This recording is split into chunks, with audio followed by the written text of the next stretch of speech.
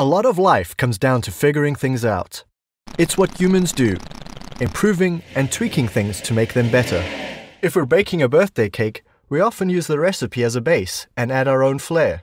We might add extra vanilla to make the vanilla cream more, um, vanilla-y. If we're trying to figure out how much gas it takes to get from Tallahassee to Toledo, we consider our known variables speed, weight of vehicle, weather, and driving style.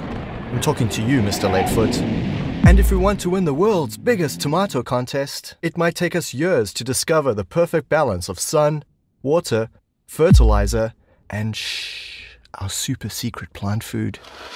The problem is, experimentation by changing one thing at a time is not efficient.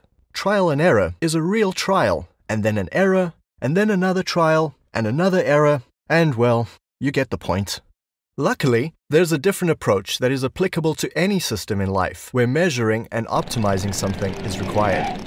It's efficient, it's scientific, and it works. It uses statistics. Wait, wait, wait, don't go yet.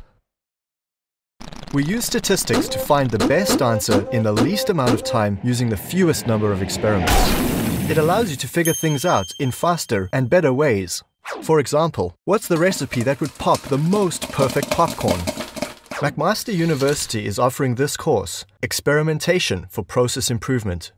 We'll teach you the way to figure things out, which could make you stand out at work, help you optimize your business, or let you land that big promotion.